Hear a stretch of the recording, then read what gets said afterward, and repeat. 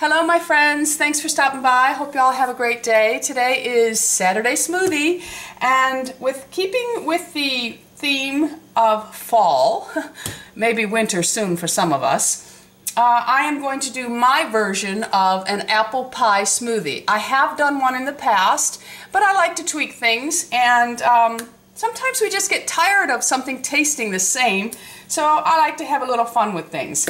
Remember, at any point, you can use any version or something similar that you like the taste of to replace what I'm using. For instance, I like unsweetened vanilla almond milk. If you prefer soy, it will change the taste.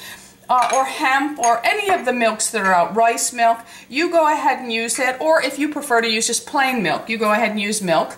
Um, I'm going to be using the cinnamon apple butter that is sold at Williams Sonoma. It is by Muirhead. I like the flavor of this apple butter. I don't particularly care for others that I have tasted, but if there is a less expensive version of this that fits your budget, go ahead and use it as long as you like the flavor. It's so important when we're eating healthy that you like the flavors. You gotta like the way it tastes. Okay, so let's get started. We're to start with a half a cup of my unsweetened almond milk. It's vanilla flavored. Gonna start with my strained yogurt. Now I talked about this in the pumpkin video, pumpkin pie video. All you do is take a strainer, some cheesecloth, or an, I have a nut bag here. You take your Greek yogurt, plain Greek yogurt. I use 2%, you can use zero. If you like full fat, you go right ahead and use it.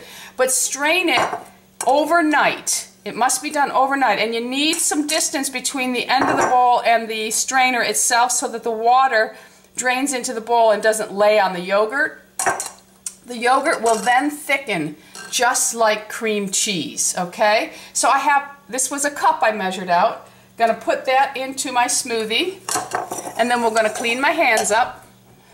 And our next step, I'm going to take one tablespoon of the apple butter and the flavor of this one is really nice. Not too much cinnamon, so I'm to add a little bit more cinnamon. Okay, our next step is going to be our cinnamon. I'm just going to add a pinch. I want a little more cinnamon flavor. Now, here is where I do like a little extra cinnamon. I'm not really a big fan of it in pumpkin pie, but apple pie I am. So I'm going to put a pinch of cinnamon in there. Then I'm going to take my vanilla flavored stevia. Again, use whatever stevia you like. I like this. This is the Whole Foods brand. I actually buy it when we're in Florida, and then I ship it five, six, seven. Seven drops seems to be good. And then I ship it uh, back home here in New York because I really like it. And the stevias they sell here, I don't like as much.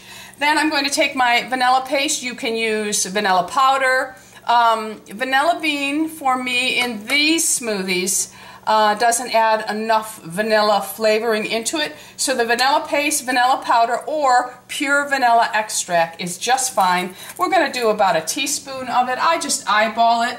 But for those of you who aren't familiar with eyeballing, make sure you measure. You don't want to have too strong a flavor in there. Okay, so we're going to take our ice and pour our ice in there. It's about five ice cubes. Now at this point, you can add your chia seeds, your hemp seeds. If you're someone struggling to get your cholesterol down, you can add a handful of a raw oatmeal. I'm not going to add any of these things into my smoothie because, well, I just don't want them in there right now. okay, so now this is the trick. I took an apple last night and I cored it. Now this is a Gala organic apple.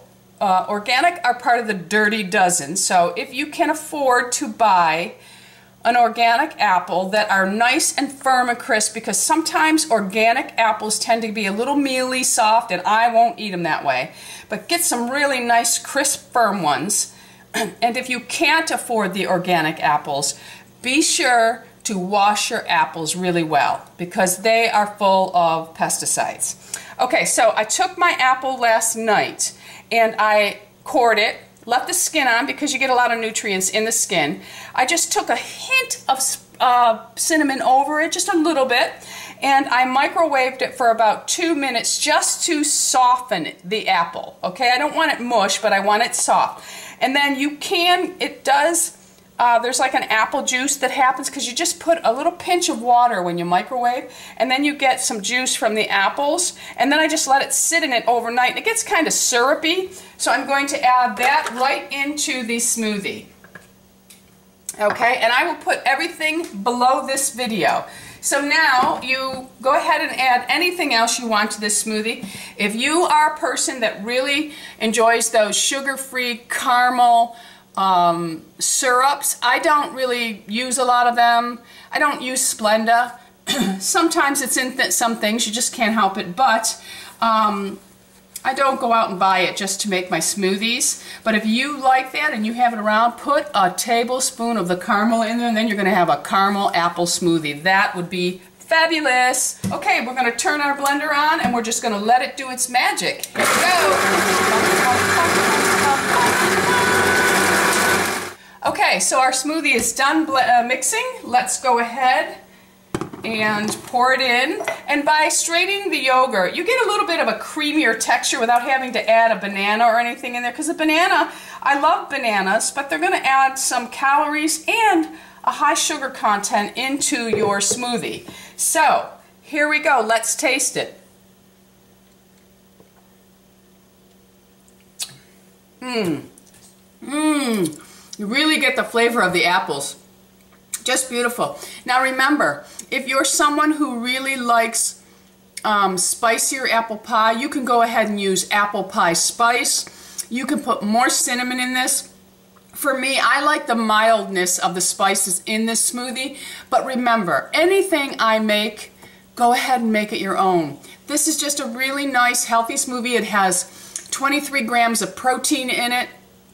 And if you need to add more protein to your breakfast, just whip up some egg whites or something and eat them on the side. And you're, you're really putting in a low calorie protein that is really good. So, did that make sense? I hope it did. Anyway, enjoy your apple pie smoothie. I'm going to. Here you go. Be happy, be healthy, be beautiful, and most of all, peeps, be lovable. Be lovable. I love you all. Bisous, my friends. Bisous.